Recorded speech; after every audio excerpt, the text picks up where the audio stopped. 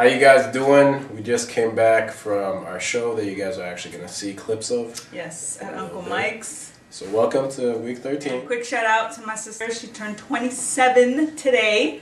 Since uh, technically today, since we're recording after midnight and it's Sunday already, and her birthday is today, the 23rd of November. Yeah. So happy birthday, Molly Mall. Happy Get a birthday.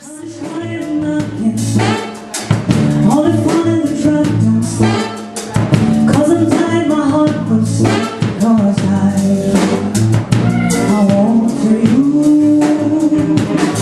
need to know